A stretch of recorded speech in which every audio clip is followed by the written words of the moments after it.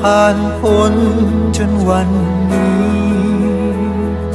หมื่นราตรี ที่อดทน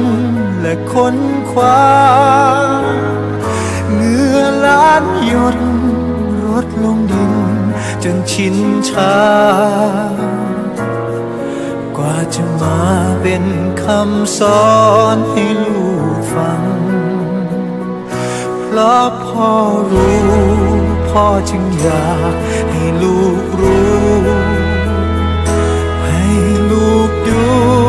แนวทางสร้างความหวัง ให้ลูกมองทุกสิ่งอย่างจริงจัง ดังที่พ่อเคยทำและจำมา